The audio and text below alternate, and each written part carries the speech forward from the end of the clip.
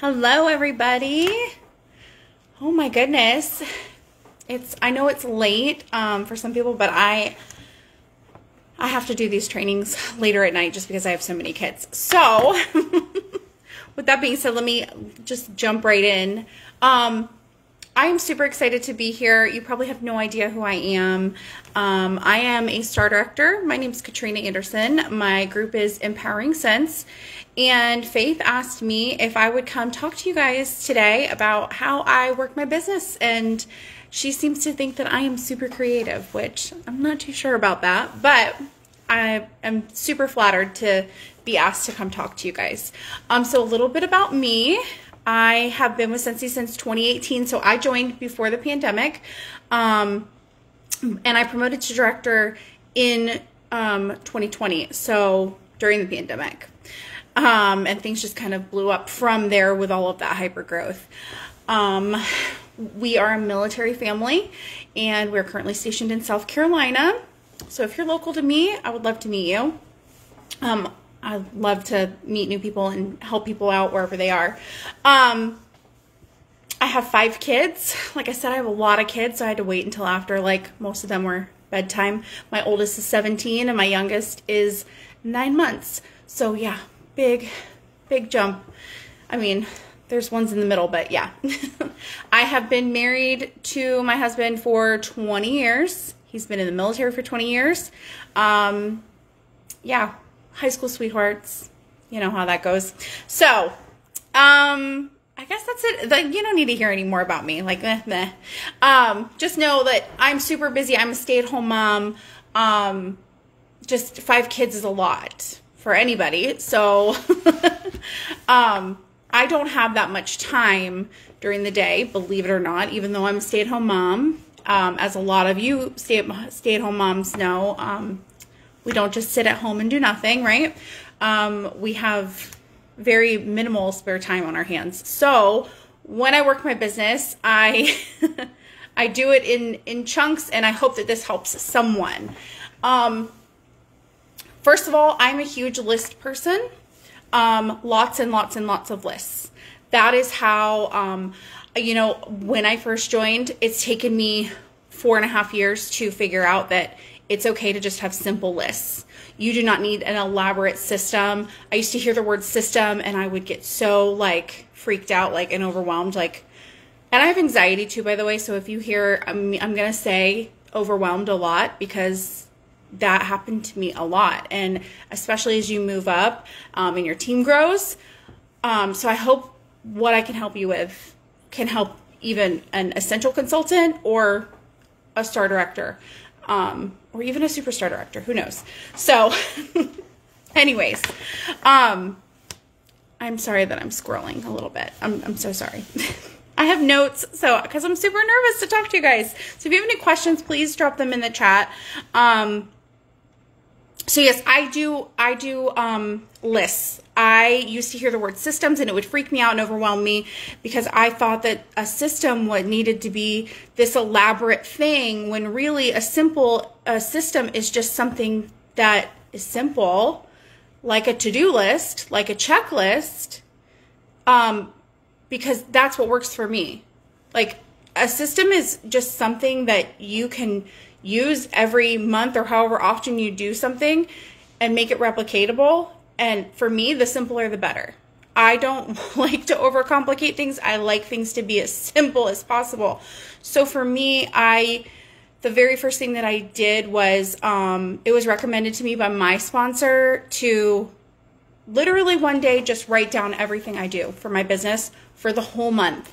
So I just kept track in my phone and um, it was a lot. It was a long note, but I broke it down every day and I noticed patterns of things were very heavy on certain days and there were some days that there was really hardly anything. Um, and so I went from there and I was like, okay, I'm going to create like these daily tasks that I need to do. That overwhelmed me because I felt like when I had a day where like the kids were sick, um, and I didn't get those things done on that day, all of a sudden I felt very stressed out, like I was behind. So I nixed that immediately not good for mental health, right? I found that the best thing that works for me is weekly tasks. So I have this that I work with every month, and it's just stapled. And I will share this with you guys if you'd like. And it's just very simple on Google Docs. It's tasks to, that help me stay on track. And I've broken it down. It's for the month. So I print one of these every month, but it's broken down by week. So week one, I have certain set of things that I get done. Week two, week three. And each week, I also have join conversations in there, host conversations in there, um, tracking my numbers. It's very important for you to track your numbers because you notice patterns for yourself and your team as you grow. Um, and noticing patterns is really good. Um, sending emails and things like that. But it's literally a checklist broken up by week. And the reason I like the weekly stuff is because, like I said, there are some days that are just way crazier than others where I can barely touch my business. But it's okay because if it's only the third of the month, I know that I still have till the seventh to get the rest of that stuff done. You know what I mean? Like for me, sometimes I just have to play tricks on my brain a little bit. That's that's what works for me. Um, I do touch my business every single day, even if it's just having a conversation with someone. Um, but I mainly try to go as hard as possible on the weekends because I have kids. So I go hard on the weekends so that I don't have to during the week. Um, and sorry if you hear my kids, they're in the kitchen. Sorry, they're getting water, ice water. Um, I go hard on the weekends so that I don't have to during the week. So there, my obviously my days are going to look a lot different than yours. Um, but I will share this tracker with you guys, this list with you guys, so you can edit it and do what you just make a copy of the file and you can you can change it however you want. Maybe it'll help you, maybe it won't. Give it a try. I have just found that it uh, this is the first thing in four and a half years to hold me accountable. I want so desperately to be a planner person, and I'm not a planner person.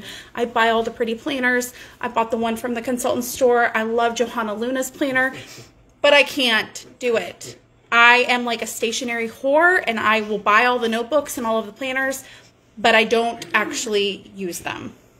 It's like, you know how some people like they don't buy plants because oh, it's just going to come home to die. Yeah, planners come to my house to die because once they get bought and brought home, they never get touched. And then I find them three years later and I'm like, oh, look, that's from 2018, you know? So I need, this is just what works for me. And it took me four and a half years to figure it out. So um, I hope that it helps you. So I will share that later later on tonight with you guys. Um, okay, sorry, I have notes. so the biggest thing is um, what makes you stand out to your customers. Um, and you have to think outside of the box when it comes to how you work, how you share things. Um, the biggest thing that I noticed was I have a very large portion of my customers that are not on social media, or they are on social media, but I'm not friends with them on social media. They're not obligated to friend request to me. They're not, absolutely not. Um, honestly, it's happening a lot on social media right now where people are actually turning away from social media. And I'm okay with that. Um, a lot of people are just wanting to take a step back from things, and that's cool. Um, I don't ever pressure people to friend request me after a party, after they order, nothing like that. Because while yes, I do have a VIP group and I share very consistently in my VIP group my business page and my personal page and my stories and my Instagram. I share on all those things. I have a YouTube channel.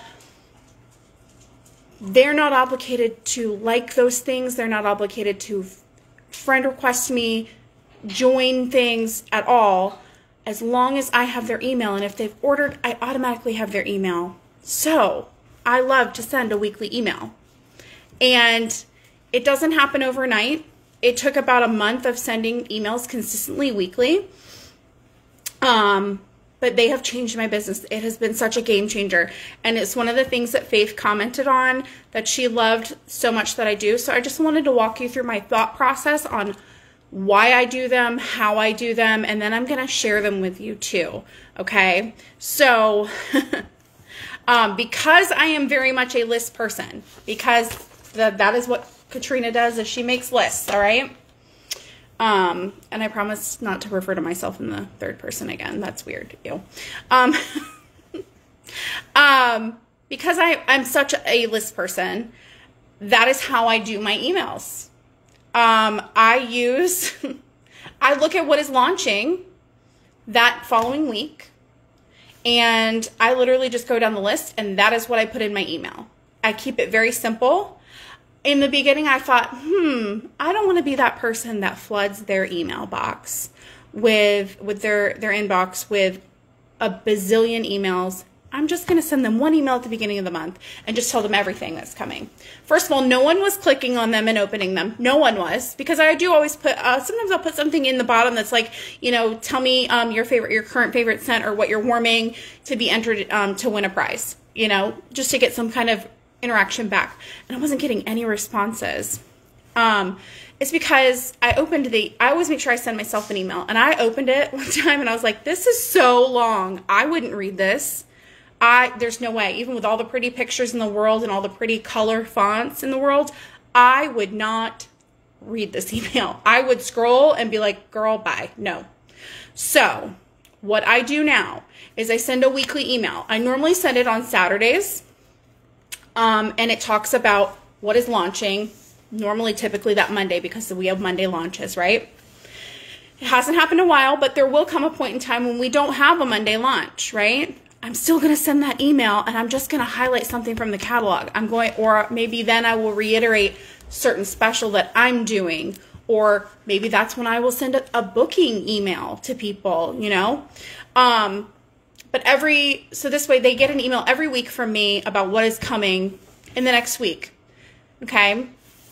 Um, it's kind of like the same thing I do with my team. I do a week at a glance post, and I've shared that before too, like on the leaders pages, and I'm sure Faith has seen that, where I literally post the upcoming week for my team. It helps everyone stay on track, including me.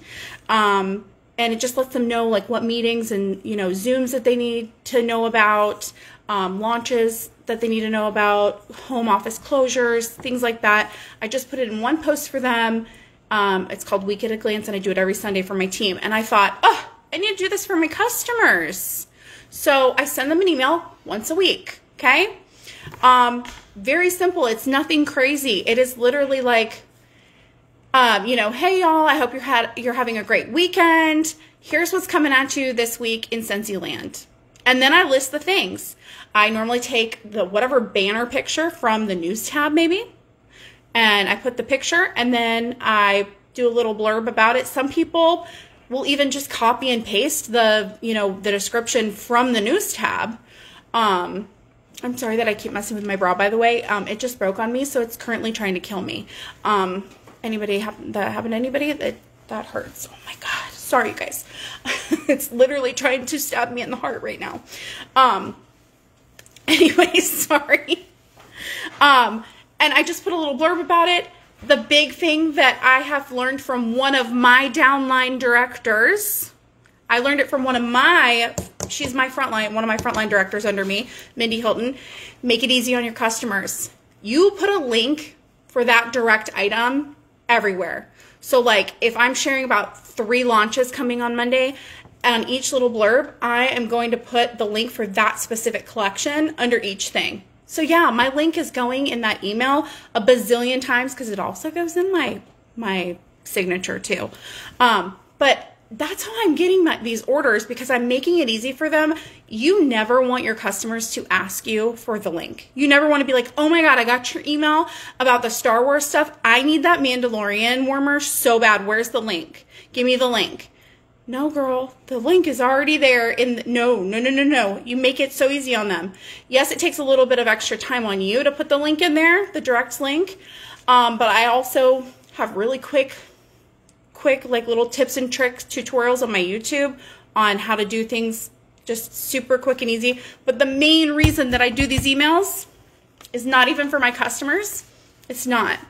The main reason I do the emails is so that I can share them with other consultants because I will literally make my email, I do it up in a Google Doc because one, it makes it easier to have the pictures and then you just copy the whole thing and you paste it into the workstation email section and it copies and pastes, boom, done. Okay? That way your pictures are in the middle of your email and they're not at the bottom of the email. Okay? Um, but I do it so that I can share the Google Doc with other consultants because if because I, I, know how frustrating learning how to email on the workstation was when I first joined. So if I can make it easier on someone else, if I can take the frustration off of a newer consultant or even a seasoned consultant who just hasn't been able to figure it out yet because they're so busy with other things, let me take this one little frustration away for you. And here, I'm giving you this email. Copy and paste it, change the links. That's it. And whenever I post it, I always share the tutorial on how to change the link and make it your make the link your own link. And also um, how to save the document and and copy it so that you can edit it yourself. Um, it's just very very easy. I, I want things to be easy and replicatable for other consultants not just people on my team. Uh, and that is why i will share everything that i do on as many pages that they will let me And you need to be doing that with when you share how, like, when you share Scentsy. Don't just share things in your VIP group, share them in all the places. Do you know why? Because not everyone is in all the places. So that's why I don't, it doesn't bother me to share in literally 10 different groups when I share my email or I share my sample labels that I make. Um, I share them in like 10 different groups. No one has ever been like, oh my God, why did she share that in like 10 different places. Do you know why? Because not everybody's in 10 different places. They're not. They're not in 10 different places. It's the same thing with your customers. Not everyone is looking at your Instagram story, your Facebook story, your Instagram grid, your Facebook page, your VIP page, your business page. Not everyone's looking at all those things. If they are, you need to be having a joint conversation with them. Okay? You just that's for free. Okay? Um um but yes, I do everything on a Google Doc so that it can be um, replicated. I love utilizing Google Drive. It is something that I learned from Chloe Cox. I know you guys know her. She's y'all's SSD. She's my upline SSD. Um, Whitney Hebel is my SSD.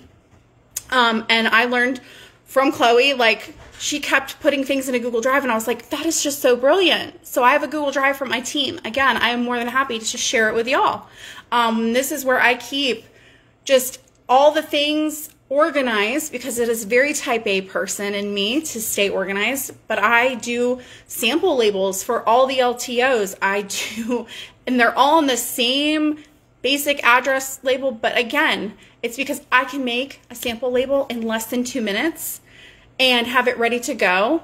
Whereas someone else might spend all day being frustrated with Avery or Canva when I can take that frustration away and just give you all the samples and you literally just have to open it and press print and put the labels in your printer, if I can take that frustration away from you so that you can use your time more wisely on income producing activities, then I have done my job.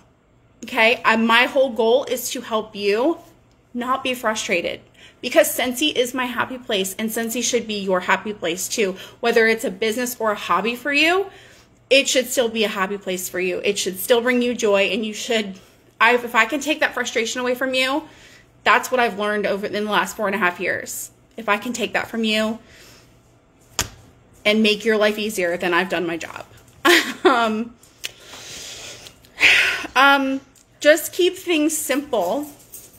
Again, like I said at the beginning, I used to think that like a system needed to be something, you know, complex and um, you know, all of these things, it's it can be as simple as a post-it note. It can be as simple as a list, as a checking the box, okay?